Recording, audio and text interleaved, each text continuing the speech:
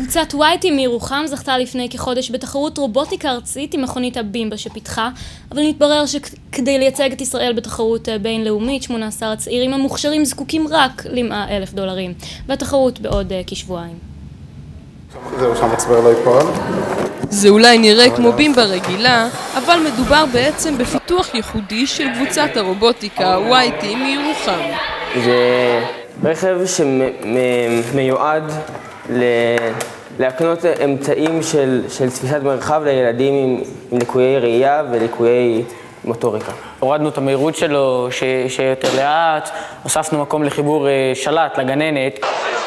הקבוצה המנצחת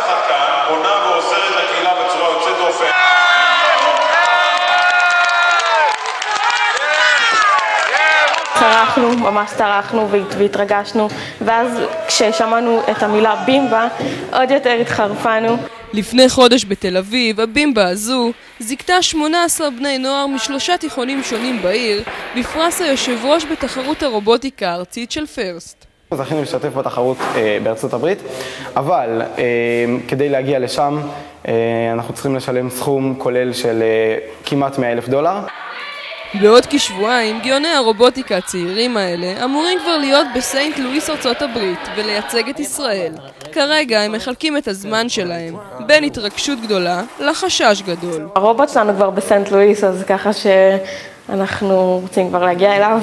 מחובר לכפתור. אה, נכון, מחובר לכפתור. אני לא היחידה ש, שהמצב אה, הכלכלי מאוד מדאיג אותה. כולנו פה, אה, המצב פה בירוחם לא, לא, אנחנו לא, אנחנו פריפריה.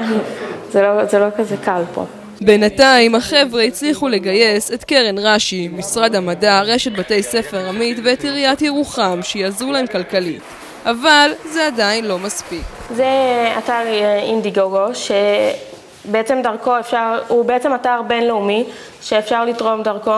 אנחנו מקווים אה, שנוכל בזמן הקצר שיש לנו להגיע לסכום הגדול אה, שאותו אנחנו צריכים להשיג אה, כדי להשתתף בתחרות בארצות הברית, כי אנחנו לא יכולים להפיל את כל התקציב על ההורים.